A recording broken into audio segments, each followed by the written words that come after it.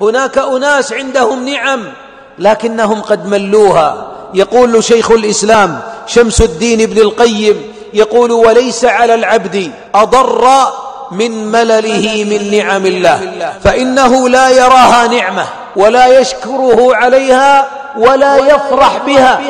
بعض أطفالنا وبعض أبنائنا يقول لأمه كل يوم رز وكل يوم لحم. يا ولدي ما حد لقى الرز واللحم إلا أنت. وبعضهم يقول جوالي. صدقون هذا الجوال له عام كامل معي. يا ولدي فيه ناس ما حصلوا جوال ولا استطاعوا الاتصال على من يحبون. وبعضهم وبعضهم يتململون.